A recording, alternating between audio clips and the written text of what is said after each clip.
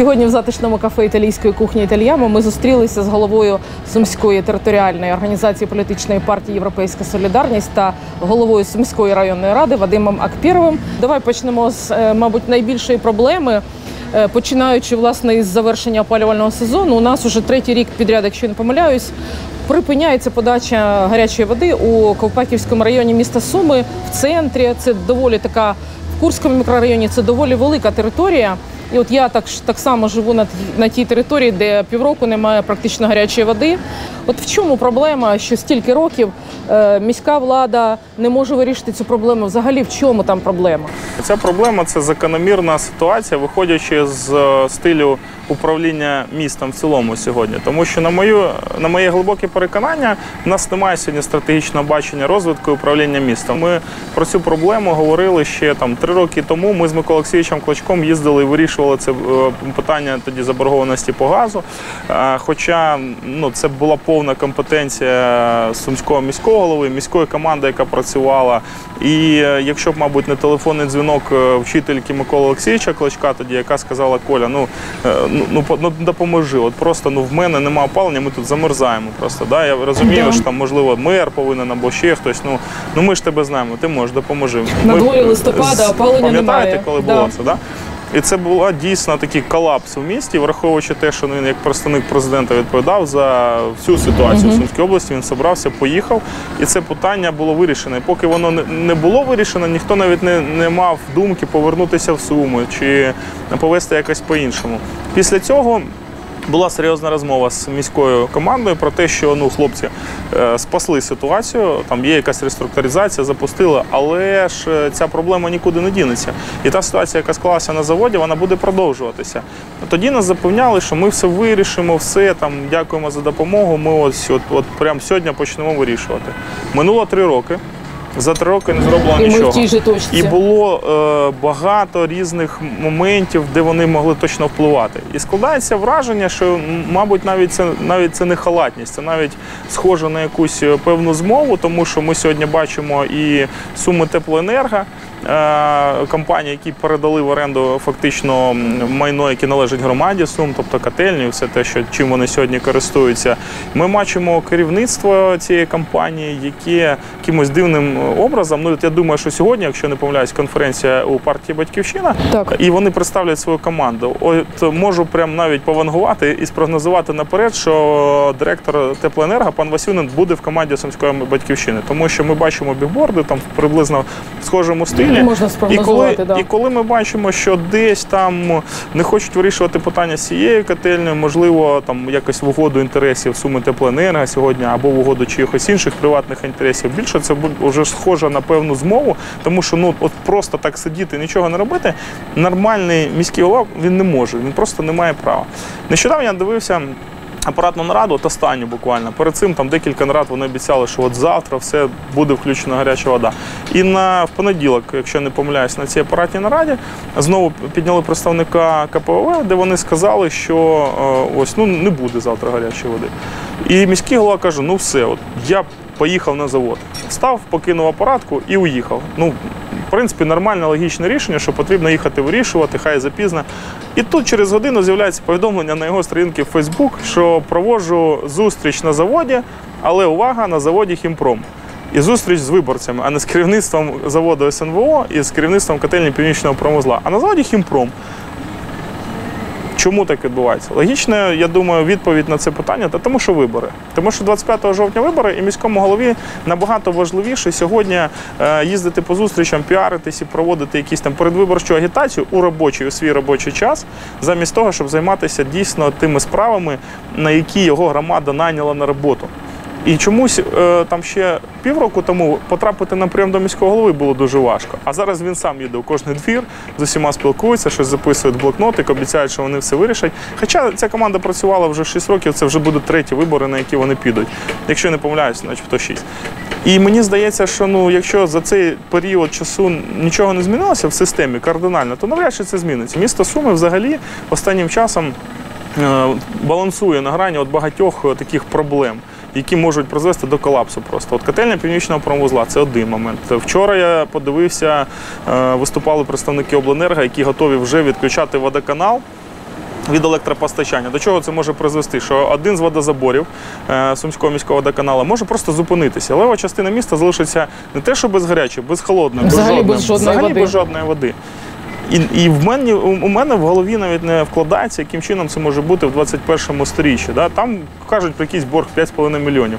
Ми навіть, я навіть не хочу зараз розбиратися, чому так вийшло і чому цей борг накопичився.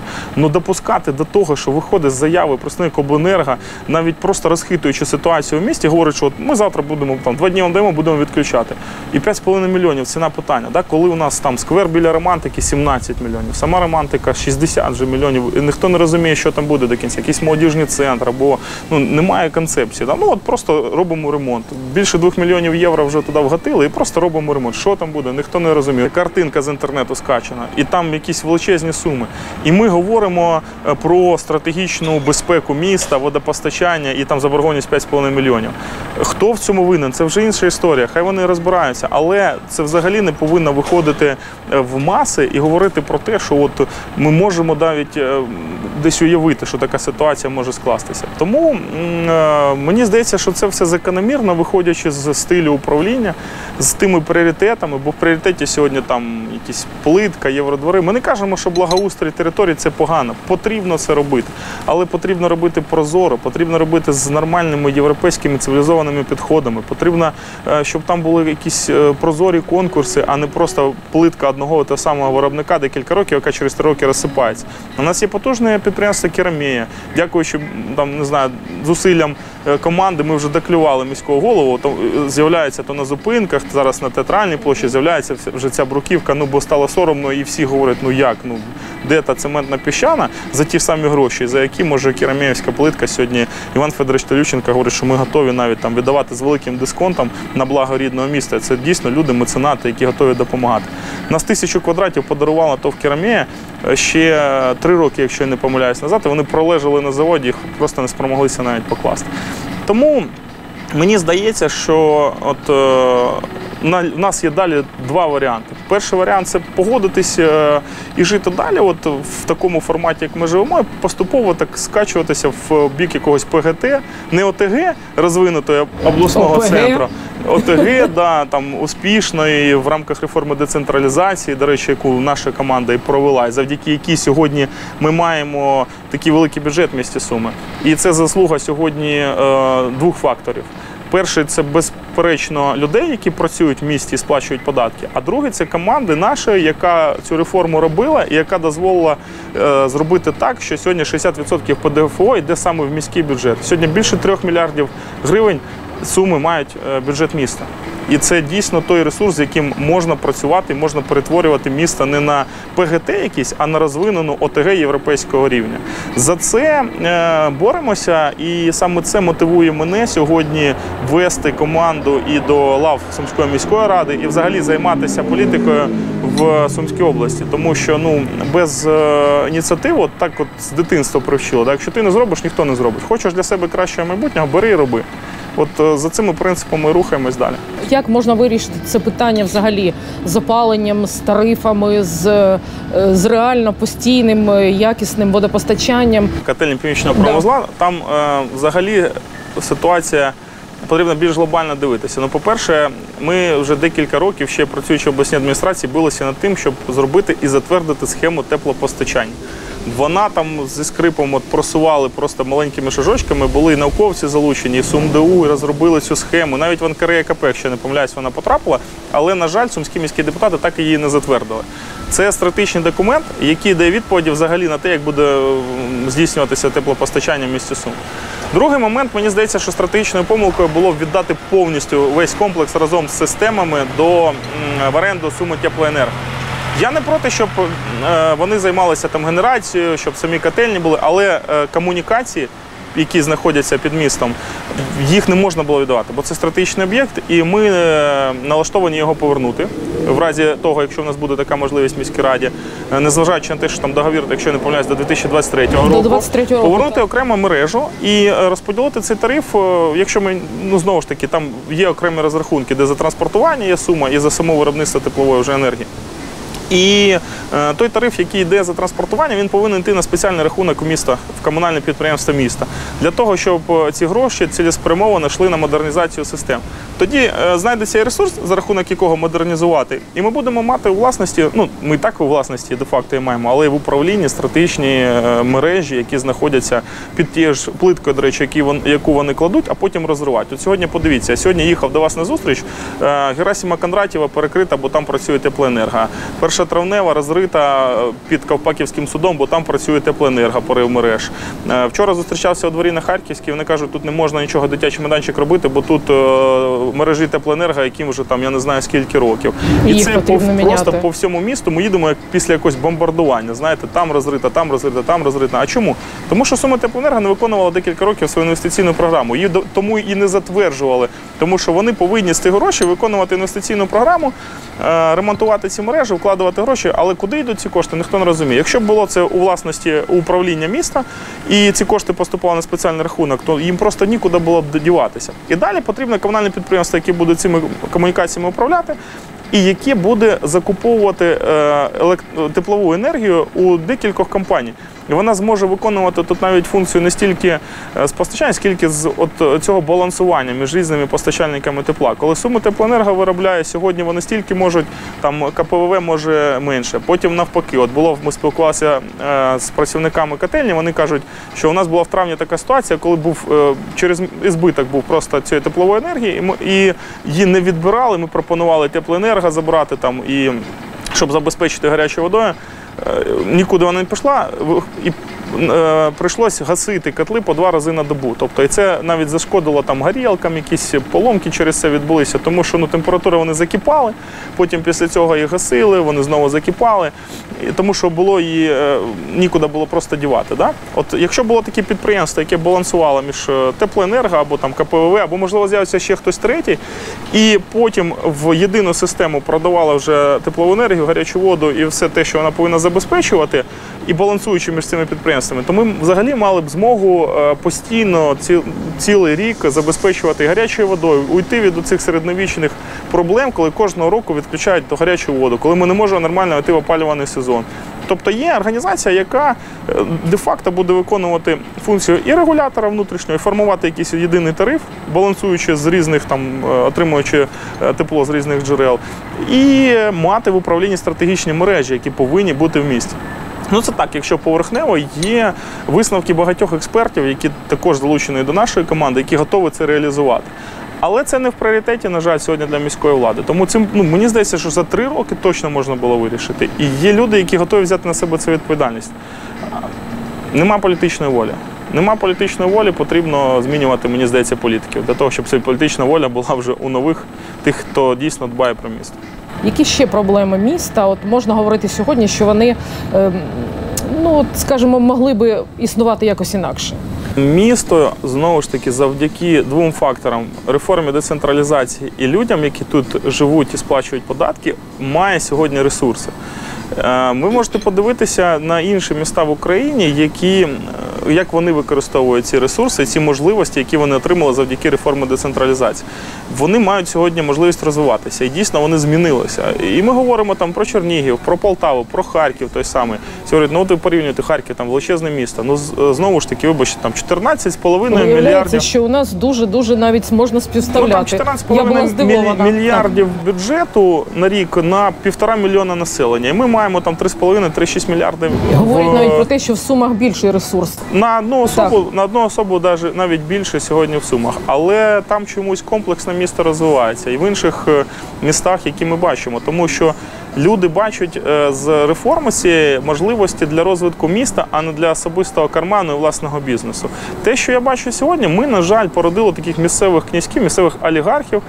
Е, Які вважають, що можна в ручному режимі розподіляти ці бюджети, е, гроші платників податків, які ми з вами сплачуємо, і е, використовувати, от як вони, як їм просто хочеться, да, там виробляти плитку, тому що це свій там десь маємо відношення, і потрібно розібратися, хто там кінцевий бенефіціар цих заводиках, або нічого не робити в розвитку комунального транспорту, коли є там певні інтереси в цьому бізнесі, або вирішувати от свої власні питання, а не думати про те, що ми залишимо у спадок своїм нащадкам. І Е, в цьому величезна проблема сьогодні, тому що ми маємо потенціал. Місто Суми має потенціал і фінансовий, і е, людський, і територіальний. У нас багато переваг, якими ми повинні користуватися. Ми готові сьогодні втілювати от Суми, до речі, один з небагатьох обласних центрів, де е, немає сьогодні камер відеонагляду. Да? Це от вже відходимо від теплопостачання, зовсім інша кардинальна тема там е, безпека міста. Якщо говорити про всі інші обласні центри, то там давно підключені до системи МВС, до системи СБУ. Билися там декілька років. В результаті, начебто, там щось закуповувала міська рада, але ці камери дивним чином були встановлені лише в будівлі Сумської міської ради. Куди поділися інші, ніхто не розуміє. Паркові зони. Я от гуляв нещодавно з дітьми своїми в е, парку. У парку Кажедуба там сосни стоять засохші, просто які комусь на голову скоро падуть. Навіть на це немає сьогодні е, що, політична воля чи, чи що потрібно для того, щоб просто убезпечити людей, траву покосити, до сосни типу, зрізати і, можливо, там висадити нові дерева. Я вже дерева, я вже не говорю про комплексний розвиток і про проєкт реконструкції цього парку. В дитячому парку вже і у кота і голову зняли. І такі речі ми бачимо повсюду просто. От е, це мотивує. Дійсно мотивує брати і робити самостійно. Ми готові, готові взятись е, за це і е, працювати. У нас, знаєте, є такі дуже стереотип, який залишився від радянських часів, коли всі думали, що е, будь-яка влада вона від Бога. Да? От вона не від Бога. Вона, вона повинна бути найнята на роботу тими людьми, які сплачують податки, які наповнюють той бюджет. І це не бюджет е, сумського міського голови або якогось іншого депутата або чиновника. Це бюджет громади. Для чого ми сплачуємо ці податки? От я багато своїх питаю однолітків, які поїжджали за кордон, які офіційно працюють, сплачують там податки. Ну чому ви їдете? Ви ж розумні, молоді, ви можете ці гроші заробляти в Україні. В принципі, якщо ну там співставити десь видатки на життя. І ну, загальна цифра буде десь приблизно така сама. А вони говорять: ти знаєш, ми коли там працюємо офіційно, сплачуємо податки, ми знаємо, що у нас закрит от, е, мінімальний набір соціальних послуг. От е, ну для чого ми в принципі ці податки платимо? Там рівні тротуари, там нормальний комунальний транспорт, там садочок, школа. Е, Первинна ланка медичного обслуговування. Всі ці це ми маємо соціальний пакет, і коли ми отримуємо зарплату, хай вона може і невелика там, але ми знаємо, що на соціалка закрита, це нам там на їжу, на відпочинок, на якісь ну, там покупки. Нам вистачає нам комфортно так жити. То мені дуже хотілося, щоб е, в Сумах, в Україні взагалі от було відношення е, таке точно до е, місцевої казни, до місцевого бюджету, коли люди, сплачуючи податки, розуміють, кого вони наймають на, на цю роботу, і що ці люди зобов'язані їм за ці податки створювати комфортні умови життя. От для цього, в принципі, і існує ця система місцевого самоврядування. Ви молодий амбітний політик. У вас є доволі такий вже потужний досвід і керування районом. Ви працювали в обласній державній адміністрації. Ви можете сказати, що ваша команда це люди, які знають, що роблять, які вміють це робити. Є бажання і є е, в принципі прагнення дійсно працювати чесно, прозоро саме на громаду, а не на власну кишеню, як ми говорили трошки раніше. 100%. Ну, по-перше, я для себе особисто визначився. Знову ж таки, мотивація в мене абсолютно конкретна. Я хочу жити в цьому місті, я хочу, щоб це місто розвивалося, я хочу, щоб мої діти хотіли жити в ньому і залишатися в ньому. Тому я для себе особисто прийняв рішення балотуватися на посаду сумського міського голови. Так, звісно, у нас є команда. Е, Європейська солідарність на Сумщині і в місті Сумах сьогодні об'єднує і патріотів, і професіоналів. І це дійсно патріотична професійна команда, яка складається з представників, представників е, сфери ЖКГ, директорів шкіл, там є головні лікарі і підприємці. Персонально ми цю команду презентуємо 20 вересня на обласній конференції, де буде офіційно вже е, висунуто кандидатів на ті чи інші посади на ОТГ. І наша команда працює не тільки в місті, е, а ми будемо представлені майже у всіх е, ОТГ Сумськ- Сумської області. Е, Ми поведемо команду і до Сумської обласної ради. Там будуть, я думаю, приємні несподіванки щодо людей, які очолять обласний список, і до людини, яка очолить обласний список. Це дійсно патріот, це дійсно герой, я можу навіть так сказати. Ну, залишимо таку невеличку інтригу. Я думаю, що вже в неділю ви побачите цю презентацію. Е, Є бачення, є стратегія, є конкретні напрямки, що ми зробимо. І ми б це давно, мабуть, і зробили і в місті, якщо б було, була політична воля. Тому що правильно ви говорите, я працював в обласній адміністрації, і там, коли ми пропонували певні спільні проекти, завжди чомусь от втручалася політика, а не господарський здравий розсудок, де могли б ми е, все ж таки е, багато чого зробити на благо сумчан. На жаль, та монопольна ситуація, яку там то монопольне становище, яке отримала та ж сама батьківщина і команда діючого міського голови на минулих виборах, а вони мають з 22 мандатів для прийняття рішення 19 сьогодні в Сумській міській раді і майже одноосібну таку монобільшість по сумського розливу. Знаєте, от е, через це ми не мали демократичного процесу в місті. Пріоритетні напрямки для нас, які ми бачимо. Ну як я вже говорив. Це безперечно е, зони відпочинку. Подивіться на парк Кожедуба, подивіться на дитячий парк, подивіться на набережну річки Стрілки, яка взагалі просто от, ну, там важко назвати її набережною. Настільки локацій нам е, природа і Господь Бог подарував от стільки класних місць, таку природу, таке місце, і ми от так похабно до нього відносимося. Ми готові цю ситуацію змінити. Далі безпека наших громадян. Проект Безпечне місто. Чотири роки вже носимося, вже МВС готова, СБУ готова взяти. Там питання за малим. Муніципалітет повинен профінансувати і встановити ці камери. Це невелика сума коштів на те, щоб зробити це. Але це дасть можливість е, унеможливити майже там угони автомобілів або знаходити їх швидко, да? тому що вони будуть фіксувати і камери розпознавати. Це дасть можливість е, знизити злочинність, там це і крадіжки, і багато різних розшук людей, е, техніки, всього чого. Ну там величезна система, яка працює вже давно в Україні, але потрібна участь е, муніципалітету. Ми готові це зробити і знаємо, і навіть є готові проекти вже і попередні розробки. Е, Третій напрямок це освіта. Те, чим я займався в обласній адміністрації, це нова українська школа. Ми, вибачте, в селах змогли реалізувати. Поїдьте сьогодні в Хотінь, поїдьте в Грасимівку, поїдьте в Краснопілля, в Нижню Сироватку. І, до речі, ті речі, які зараз видають за велике будівництво, це проєкти, які я особисто керував, які ми подавали через Державний фонд регіонального розвитку, фінансували. І е, класні школи під нову програму Нова українська школа сьогодні мають і забезпечення, і матеріально-технічну базу, все. В місті Суми, місто Суми якось пасивно приймало участь в цьому процесі, і багато, на жаль, досі вирішується за рахунок е, батьків. Питання медицини. З первинною ланкою там держава подбала, там є е, договори, декларації підписуємо. Тут простіше. З вторинною ланкою потрібно сьогодні розвиватись і дійсно вкладати кошти в медичну галузь для того, щоб вони були самоокупні, щоб вони заробляли згідно договорів з НСЗУ. Чим буде краще в них матеріально-технічна база, тим більше вони зможуть підписати напрямків, законтрактуватися по тим чи іншим напрямкам, відповідно отримувати кошти за це.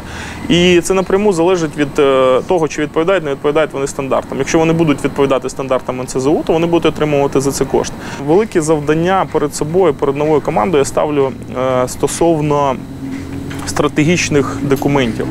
Генерального плану, якого ніхто так і не бачив, начебто є якісь додатки до нього, але глобальної концепції розвитку міста ми не бачимо, і в результаті з'являються такі незрозумілі об'єкти, як там універмаг Київ, який просто вилазить на дорогу. Да? Змінюються умови будівництва по експланаді, по забудові, коли е, був один проект, потім він змінився на інший, і там вже менше там ми не бачимо розвитку по школам, по садочкам. Ми не бачимо розвитку стратегічного взагалі міста. Куди місто буде розростатися сьогодні? Об'єднання пройшло, якусь пасивну позицію міський голова в цьому процесі зайняв. В результаті ми не отримали того великого проекту великі суми. Але тим не менш, ми ну тому, що немає жодної стратегії. Тобто такі стратегічні документи, як е, е, генеральний план міста, як схема теплопостачання, як схема руху транспорту, вони повинні бути. І на цьому повинно ґрунтуватися. Це фундамент, на якому будується розвиток міста. Я не знаю, що мотивує сьогодні не робити цих е, системних речей. І я розцінюю, от е, як такі або саботаж, або невміння. Ну в будь-якому разі не бачу перспективи розвитку з цією командою. Тому потрібно це змінювати. Що ж, бажаю успіхів. Дякую.